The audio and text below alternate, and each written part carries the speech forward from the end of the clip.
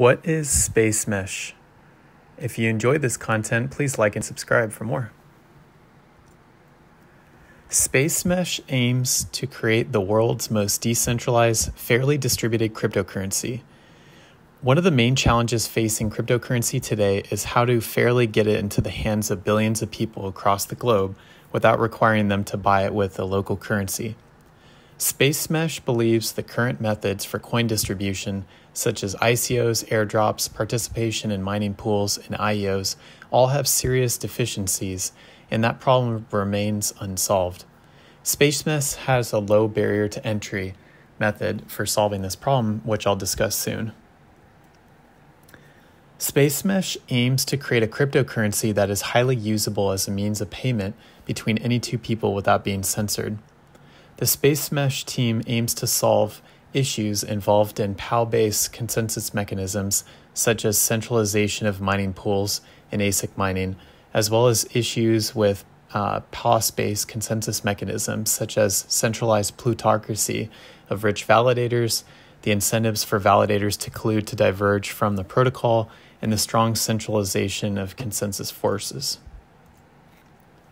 The team will also enable creators, writers, artists, and more to enforce terms of payment contracts, ensuring that they get paid for their work and social inequality will be reduced. Spacemesh is a decentralized platform based on a novel block mesh rather than a blockchain structure. Spacemesh uses a novel proof of space protocol structured as a layered directed acyclic graph, or DAG for short. Users who want to run Spacemesh need to set aside some of their disk space.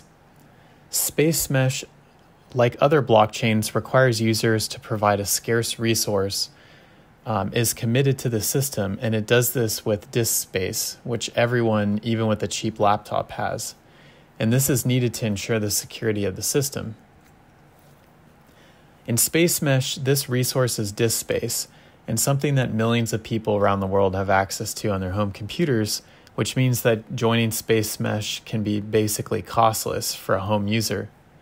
And using disk space makes the Spacemesh protocol ASIC resistant and consumes significantly less energy compared to blockchain systems based on proof of work. All right, let's dive into the components that make up Spacemesh. Spacemesh uses a mesh structure as opposed to a one dimensional chain. The mesh is divided into layers, which are sets of blocks. As long as all blocks follow the protocol rules, they will be included in the ledger. This means that the block producers are no longer racing to create the next block, thus removing the associated perverse incentives in block submission. By using a mesh instead of a chain, Spacemesh can process a significant amount of transactions within a given time frame, and it also allows smeshers to receive rewards more frequently as compared to block producers in a traditional blockchain. A layer is a set of blocks published at the same time. Layers occur in fixed time intervals, for example, 5 minutes. Immediately as every layer is published, its blocks are processed by smeshers as their validity status is determined using the Hare consensus protocol. Blocks contain lists of transactions to be added to the ledger and additional data to achieve consensus. Technically, each block belongs to a single layer, and a smesher that creates it knows the correct time to publish it.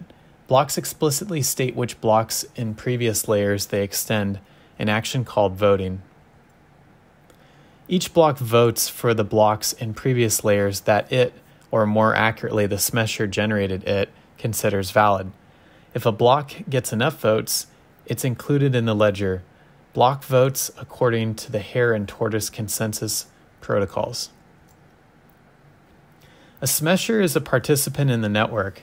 Smeshers get to create and submit blocks of transactions to be added to the ledger. They also participate in the Hare Consensus Protocol. Smeshers play a critical role in ensuring the stability of the network. To become a Smesher, one needs to run the Spacemesh app and allocate disk space for a designated period of time.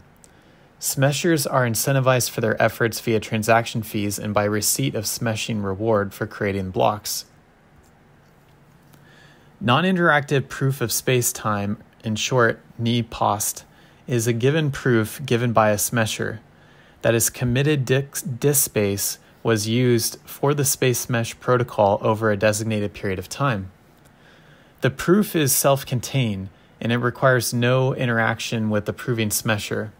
It combines proof of space and time and proof of time algorithms, and each smesher needs to publish NIPOST in order to um, become eligible to smesh blocks and keep on publishing NIPOST to maintain their eligibility.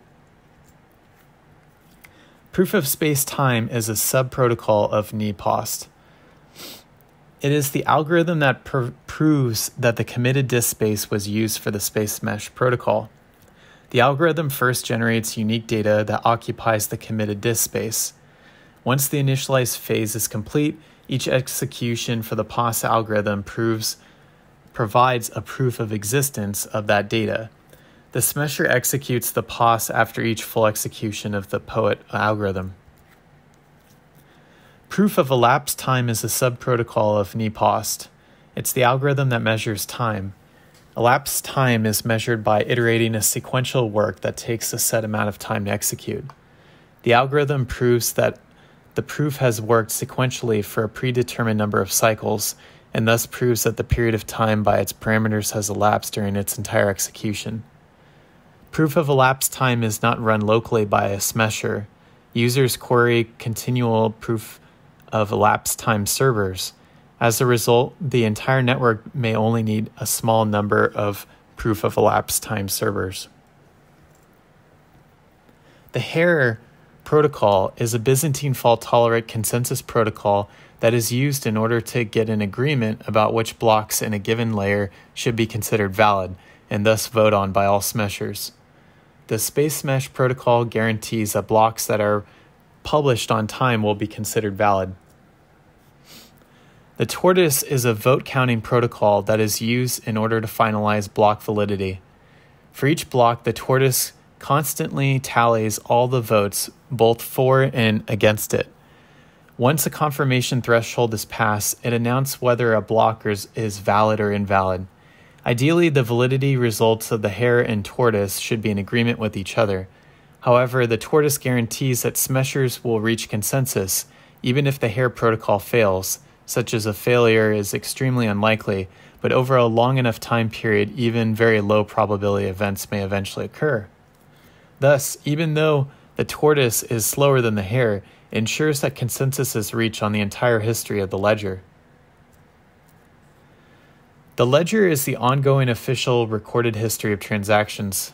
The ledger is updated one day layer at a time, once there is an agreement about the validity of all blocks in a layer, the transactions from all valid blocks are added to the ledger. And regarding energy use, with 85 transactions per second and 1 million Spacemesh home smeshers, the cost for a transaction in terms of power consumption is about 3 cents per month on Spacemesh. And when you compare that to Bitcoin, shown in the picture there, it's about $50, and that's a big difference. So, in summary, Spacemesh makes it easy for anyone to participate.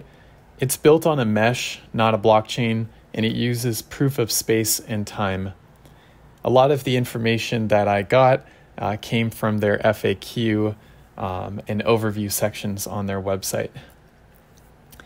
And that's it. Uh, thanks for watching. I hope you enjoy this content. Please like and subscribe for more, and I will see you in the next one.